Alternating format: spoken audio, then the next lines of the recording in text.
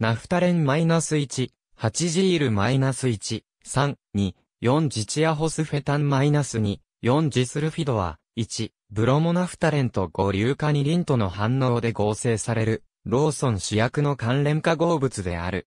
イギリスのウリンズらが最初に合成を報告し、引き続き特徴的な有機リン化合物、複素鑑識化合物として研究の対象としている。NPP2S4 が生成する機構は不明であるが、数段階のフリーラジカル過程によって生成すると考えられ、ナフタレンが合成の際の複製生物として検出されている。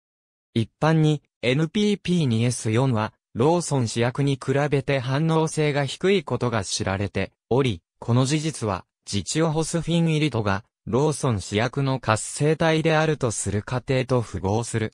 NPP2S4 はメタノール、エチレングリコール、カテコールなどのヒドロキシ元を持つ化合物と反応し、酸素原子がリン原子に結合した生成物を与えることが知られている。例えば、メタノールと反応すると、二つのリン原子に O メチルと S メチルがそれぞれ一つずつ結合した化合物を形成する。ありがとうございます。